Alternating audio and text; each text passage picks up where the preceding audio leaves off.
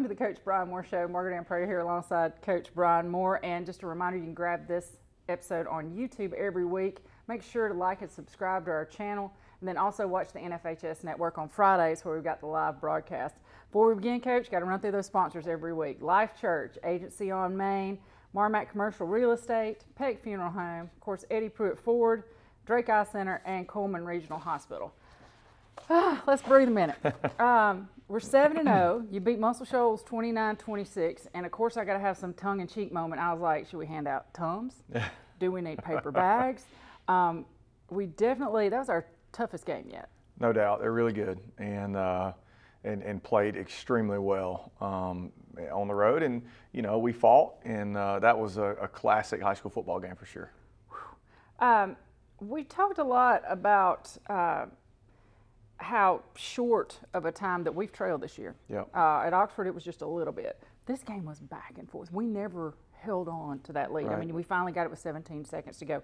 What can you say about the kids' composure through all this? Well, I think the best teams learn how to win in, in, in many different ways, and, and we have. You know, we had the game we had to hold on against Gaston. We had a game, you know, against Oxford, offensive explosion at the end with some, you know, non-offensive touchdowns, and then to come from behind, you know, not only – with the right there at the two minute drive, but also the five minute mark when Jack scored, you know, to go up and take that lead then too.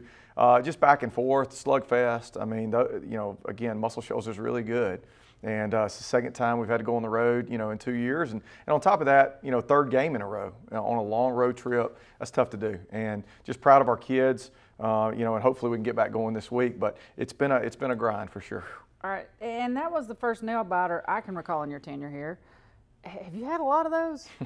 no, not a lot, you know, but the, but the I will say the ones that we've had that have been close, we found ways to win, you know, and, and that's a testament to our kids and you know and our coaching and and uh, our coaching staff just have done a great job of preparing into the game scenarios. You know, there wasn't a moment I didn't think, you know, in the game where we didn't have an answer for you know whatever it might be from you know obviously the last two minute drive um, the defensive stand right there where they, you know, got it in almost field goal range, you know, how we play that. Uh, there was a lot to do with that as far as our preparation. So I was proud of our kids to, to, to do that and then not let the moment be too big. You know, that, that can be a deal too. They executed like we've done and, uh, you know, and, and, and finished a great game. um, and I'm going to go off book. I'm asking for the people at home because this was not our fan question of the week. Penalties. Yep. How many were there? It seemed like as soon as we would get a drive going, yeah. we would get one to bring us back, or as soon as we had stopped Muscle Shoals, there would be a penalty to extend their drive. So where were we? Yeah, I think there were eight total penalties on us, um, but there were big ones. You know, it's a holding or a face mask that extended a drive. Three of which um, we didn't handle ourselves very well. You know, and so those guys paid the price for that yesterday. You know, with some plate pushes. So, um, but we've got to be better. You know, in big moments, we can't. You know, the moment was huge, and there's still 17, 18 year old kids. You know, I mean, they when there's 10,000 people watching you and and uh, the adrenaline and emotions are where they were. You know, it, it's tough sometimes. And uh, but we've got to be better because you know a couple of those we kept them on the field and let them extend drives and uh, and then horrible field position. You know, for, us as far as having a penalty after a touchdown and them starting at midfield on a drive where we needed them to have to go 80. You know, and so we've got to handle ourselves a little bit better. But again, it's it, that's huge to go through that now to where you don't do that again in the playoffs. And survive. All right, we'll be right, right back. We're taking a break. You're watching the Coach Bryan Moore Show. Peck Funeral Home is owned and operated by folks who live in the same communities they serve. Our employees are the heart of our business. The funeral home proudly employs over 30 local individuals. Currently, the funeral home is managed by Jeff Halbrooks, who has held that position for over 20 years. Our goal is simple and has remained the same now since 1929 Peck Funeral Home strives to provide genuine service from the heart. All right, we're here with our Eddie Pruitt Ford Player of the Week, Peyton Steele. And Peyton, great job this season so far. We've been wanting to get you in here earlier, but it just hadn't kind of worked out. But I'm so glad you're here today. So let's start first softball question. Give me your favorite moment so far this season. It can be practice, it can be gameplay, it can be whatever you want. Um, probably in Austin. You know, that was my my hometown. I used to go to Austin, so that, that's probably my favorite part so far. That's the one you had circled on the calendar, preseason show. Okay, all right, all right. that's good. Um, what about playing football makes you a better baseball player? Um, it keeps me in shape, you know, makes me stronger, and it uh, teaches me perseverance. You know, it makes me work hard through struggles. Like practicing isn't easy. Games aren't always easy. Like the past Friday, that wasn't easy at all. So it just kind of teaches me lessons of perseverance and struggle. Well, on personal note, roll tide, and boy, they need your bat right now. so I'm hoping when you go down there, you can change stuff because I live and die with that baseball team. It's killing me. Um, so baseball or football, and then if you didn't want to choose those two, is there another sport you wish you were playing that you just don't have time for? Um, I used to play basketball, but I kind of gave that up when I moved to Hartselle. I, I love, I like baseball better, but football was my first love. I always wanted to be a football player, but then I just kind of gradually got better at baseball. So baseball is probably my favorite. Okay, that's, that's a great answer. Um, and I always ask this every year, every time. Uh, favorite part of practice? What's your favorite drill you guys Um, do? I like one-on-ones. The you know where a, de- a defensive back covers a wide receiver. That's probably my favorite. so who are you covering? Most of the time it's Eli Tidwell. Sometimes I'll guard Rye. So it's a challenge. Yeah, those guys are good. We compete, yeah. All right. Well, and my final question: We've seen lots of improvement in players across the board. People stepping up that we didn't know were going to step up. So I've been asking uh, players of the week, who's that guy that we're just going to be looking for? You know, we're about to go into Athens, Decatur, then Bob Jones, and hopefully a couple, three rounds deep in the playoffs at least. So who are we looking for that's going to come out of nowhere and just kind of surprise us all? Um, I think Landon Blackwood's had a really good season. You know, he hasn't had much varsity experience, and uh, he's he's normally a quarterback, and he stepped up as a wide receiver, and he he's not really in the spotlight as much as he should be. I feel like he he pushes himself in practice and helps the team out a lot more than a lot of other people think. That's a great answer. You're really good. We got to have you back. Thanks so much, Peyton. We'll be right back. You're watching the Coach Bryan Moore Show. All right, we're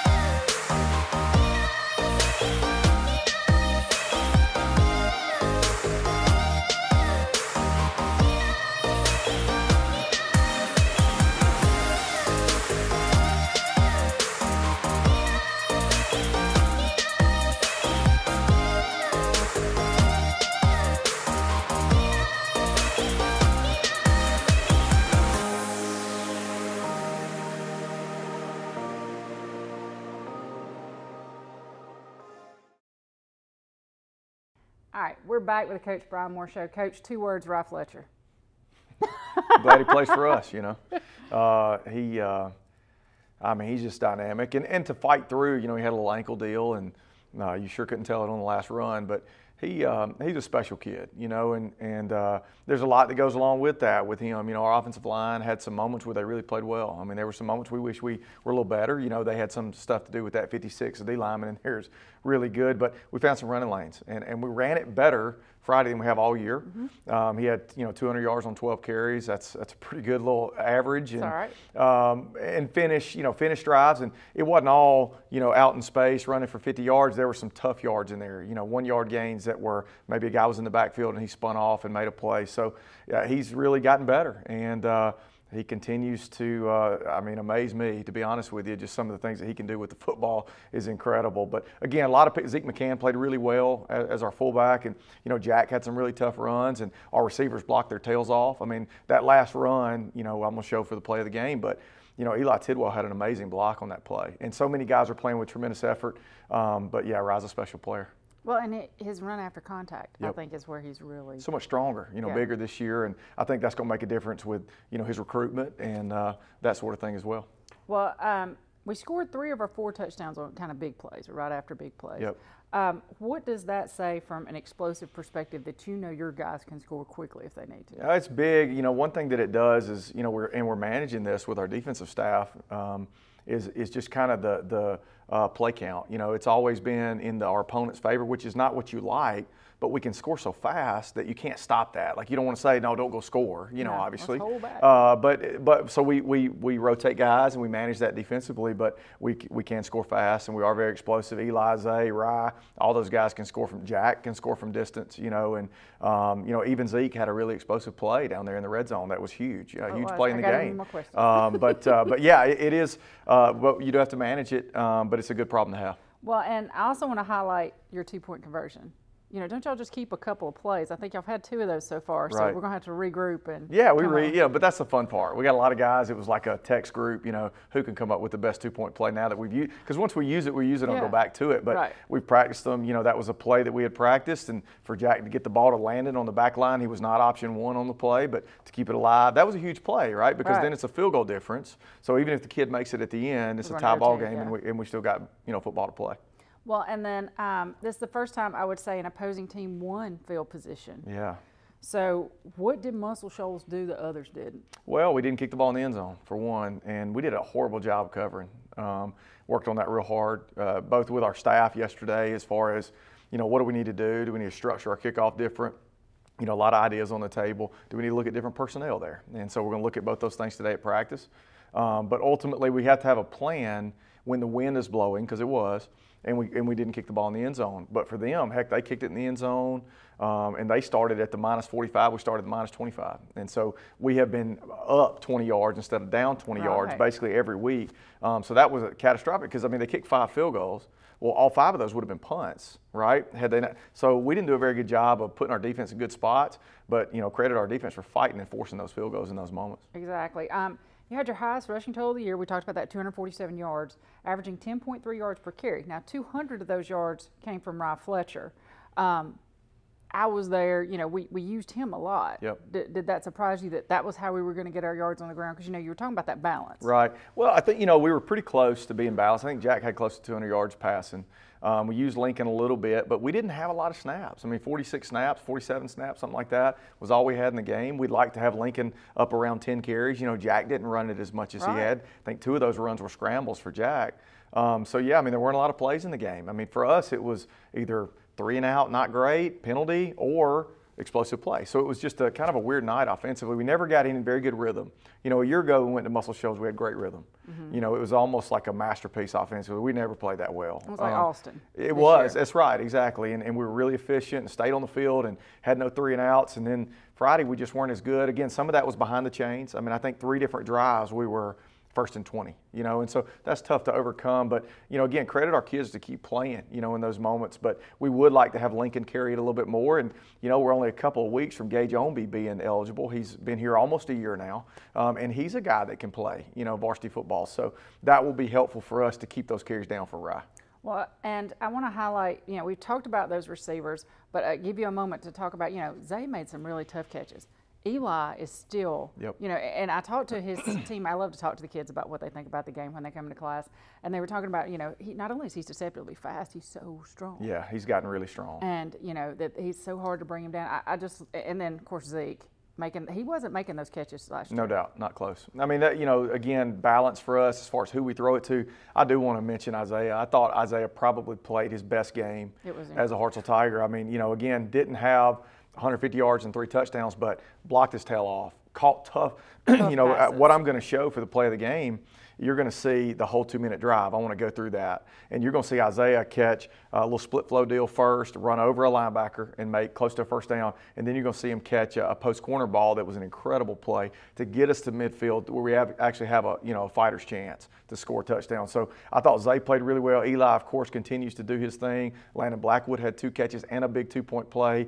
Zeke had an explosive play, which a year ago I said Zeke can't make an explosive play, but uh, He's he great. he's gotten so much better. Credit to our, our strength stuff and our movement stuff to get him a little bit faster, um, a little bit more agile, and he's doing a really good job with that. Well, and then this is our moment. I want to talk about special teams play because honestly, that's what it came down to.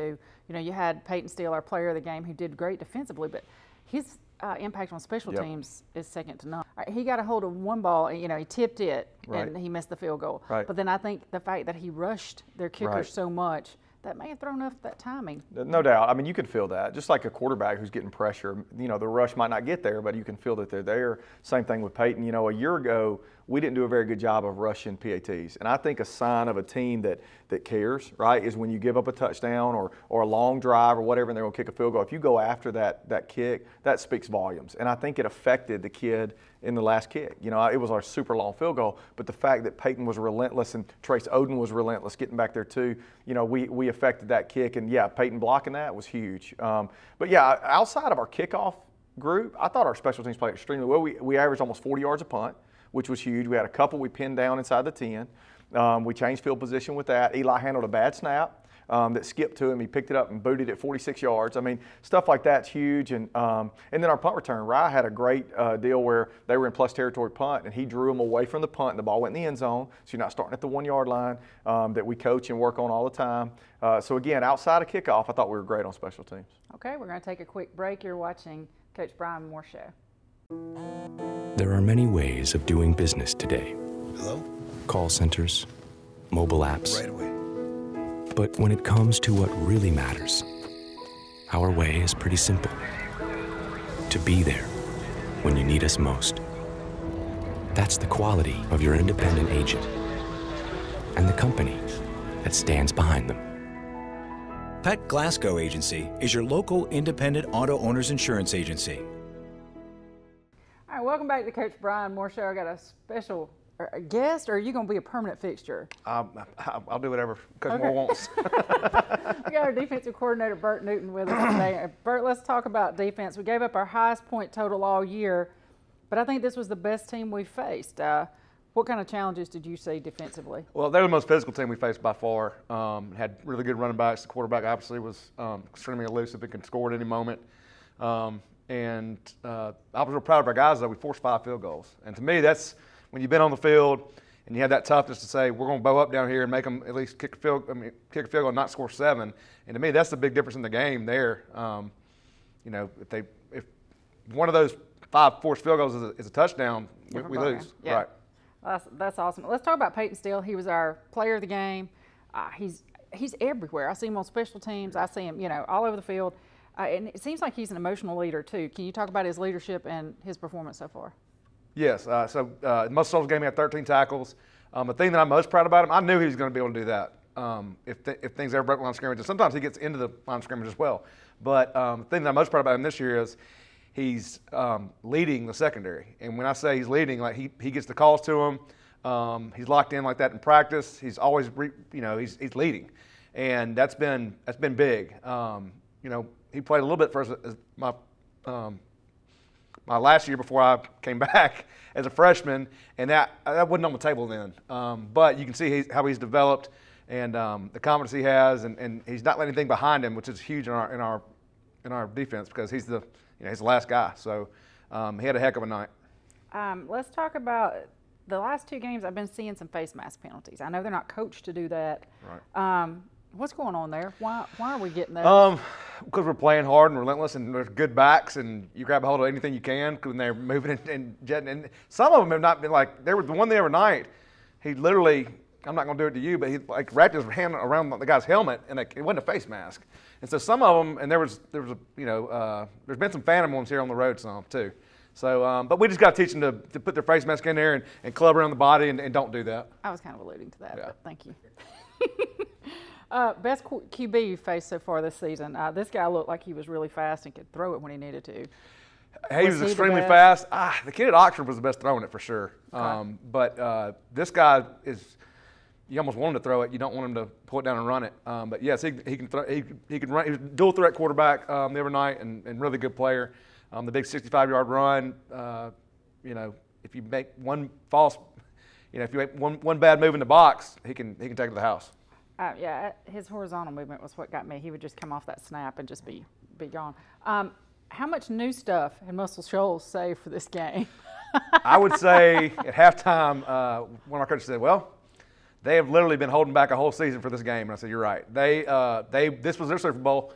Um, I think you know, not many teams go up there and beat them, and we have three times now um, since I started here." And um, they had 17 senior starters, and um, and this was this was this was their Super Bowl, and and you know, for us to go in there and not play well and have the field position issues with the kickoff uh, coverage and, and, and them to play their best and have their best plan, you know, they, they could possibly have for Hartselle, um, especially their plan for our, for our defense. Um, for us to steal a win there was unbelievable. And it's because of the, you know, the explosive plays on offense, but also how gritty our defense was and how hard they played.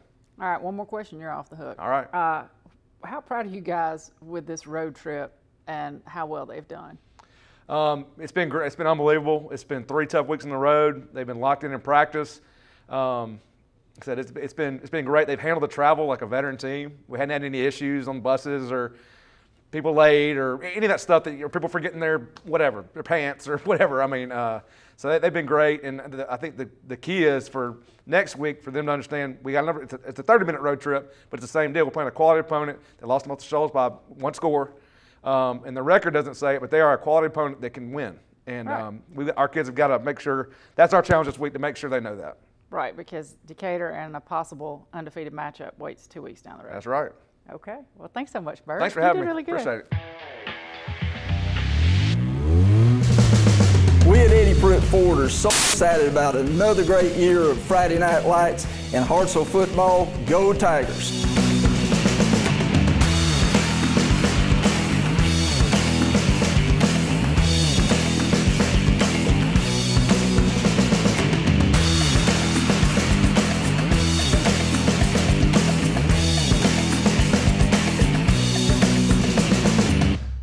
Uh, for this week's play of the game, we're going to watch a series. We're going to watch the two-minute drive.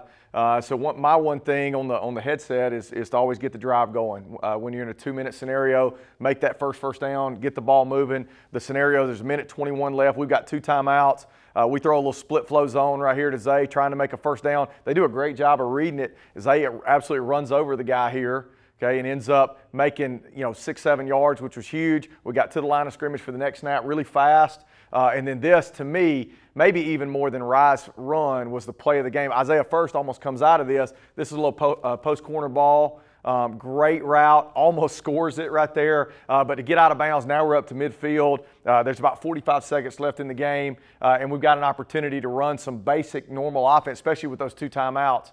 Uh, Jack right here, huge play as far as the scramble. Uh, that's huge. That guy weighs 215 pounds coming out of that. Uh, gets up to a first down marker. They give us the first down there. Uh, and then right here, uh, throw the ball down the field. Got a shot with Eli. Love the matchup right there. Uh, and then obviously this to finish the game right here with the play of the game from Rye. But I, you know, obviously super talented, uh, did his thing. But watch the block and Watch Eli stay connected to the linebacker. Watch Zeke seal that in. Okay, quick kick by Andrew right there. Stinson getting around, getting in the way, and then here he goes. Unbelievable run. Obviously, massive play in the game, but so much more than just that run uh, went into the two minute drive. Great call by Coach Lang, great call by our offensive staff. Uh, again, nobody panicked, everybody stayed calm, and obviously, play of the game.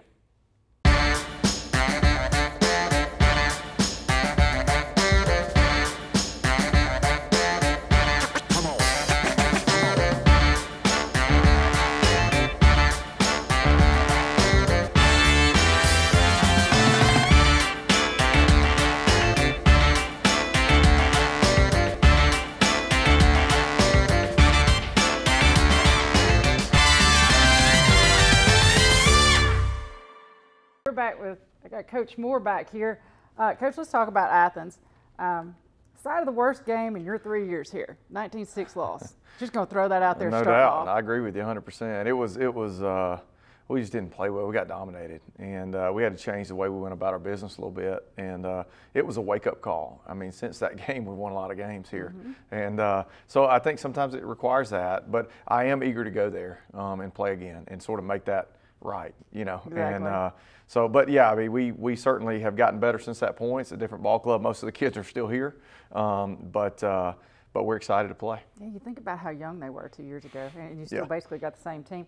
Uh, Athens two and four. Uh, naked eye, you're going to be like, ah, that's easy. But they they gave Muscle Shoals all they could handle No and then some. Athens is not going to lay down. They're a storied program. Right. So what are you guys doing to prepare good skill kids back too. You know, they, their best player four um, hadn't played until this past game with Cullman, and so yeah, that maybe an MCL deal or something. I'm not exactly sure, but um, he's back, and he was a safety last year as a dynamic player. That same kid. Yep, Okay. he's a good player. good. uh, yeah, four, two, and eight. Um, they're three skill guys offensively. Quarterback is uh, Coach Gross's son, who you know how that goes. I mean, he knows the game. He, he keeps them within, you know, plays within himself, does a good job, throws the ball better than the kid did, did a year ago, and um, you know they got some dy- dynamic guys. And then defensively, they're so different structurally that it's it, it's a it's a deal um, to prepare. It's a, it's a totally different scheme than we we ever see, um, and they know what they're doing with it. And so again, two years ago we struggled with it. Last year we had more success, but remember last year they were up in the third quarter on us at home, and uh, so we're going to have to play really well. They always play us really tough. Well, and you know, I, I talked a little bit to Coach Newton about this. You got Athens, and like I said, you're going to see that two and four, and then you think biggest rivalry Yep. for Hartselle is Decatur. I mean, it always has been. That's when Grandma and Grandpa get to talking about it. Right. You know, we're looking at possibly two undefeated teams playing for the region championship. Yep. Not this Friday, but next. So Right. how do you keep these guys tuned in for this last road trip? And uh, fourth game on the road. It scares me, to be honest with you. And I think it's something you talk about. Um, talked about it with the staff in our staff meeting, talked about it with the kids yesterday at team meeting and today during character ed. Just, you know, hey, heads up, man. Let's, you know, expose the issue. This could be a problem. But it's all about today and tomorrow. It's all about the preparation early in the week. You know, if you come out, you have great practices Monday and Tuesday, then you'll be you'll be okay. You know, then you'll you can expect to play well. You know, you don't know if you can win, but you be expect to play well. But you know, we just have to prepare well today and, and understand that it's not over. You know, I had somebody say, uh, one of the kids, a young one, say something about the region championship Friday, and I, of course, shut that down very quickly um, because that's not true. I mean, we still have two huge region games coming up that can decide not only first seed but all the seeding, really. Right. And so we've got a lot of work left to do here, and uh, so I think our kids understand that. They know they're they're mission driven. They understand the end result and you know what they're going to have to do to, to win, and and uh, I think we'll be ready to go. But again, a lot of it will have to do with t- today and tomorrow. All right, let's just keep on going. We've had enough breaks, I think. Let's do the Eddie Pruitt Ford fan question of the week. Looking forward to it. Dana McCutcheon. Yep. Um, she wanted to know what your thought process was on the kickoff with 17 seconds to go. Well, there was, uh, you know, we're trying to squib it, um, and we didn't squib it. Uh, anyway, we've got to do a better job. Uh, so, uh, anyway, we're going to practice that a little bit more uh, starting today. We did this morning, um, but obviously we don't want to kick it deep. You know, uh, very first one, you know, we the guy took back for a touchdown. We can't have that happen again. Uh, but we don't want to give them the ball up at midfield. You know, for goodness Right. sakes. I mean, they they've got a kicker that's 50 plus. You know, that can kick it, and so that was a tough deal. Uh, It's a tough night when you can't kick in the end zone, but ultimately we've got to be able to squib it and get the guy on the ground. So we're going to do a little, a little bit more of that um, today, and uh, I've got to do a better job of preparing both our kicker and our kicking team for those end of the game scenarios. We've done it, um, but it was good to do it live. I know it made everybody. It made you know I was tight over there too. I, I can feel everybody's uh, deal there, but we've got to do a little bit better job to finish. All right. Well, and that's been this week's Coach Bryan Moore Show. Thanks, Coach. Thank you. I'm Ray Lampe, Dr. Barbecue, and I'm here to tell you about the Big Green Egg, the ultimate cooking experience. The versatility of the Big Green Egg is unmatched. It delivers big results as a grill, a smoker, and even an outdoor oven. Grill burgers, kebabs, steaks at 800 degrees, slow smoke a perfect slab of ribs, and even bake a crispy pizza. When the doctor cooks, I demand the best, and that's why I cook on the Big Green Egg, the ultimate cooking experience.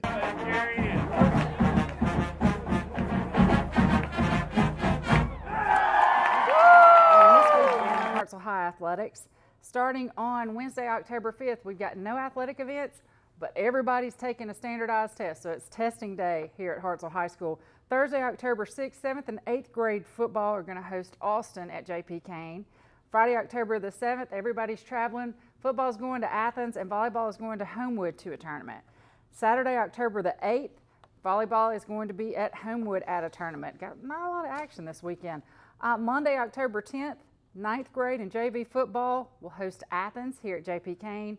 And on Tuesday, October 11th, volleyball is going to travel to Northridge, and cross country is going to travel to Athens Bible. That's this week in Hartselle High Athletics.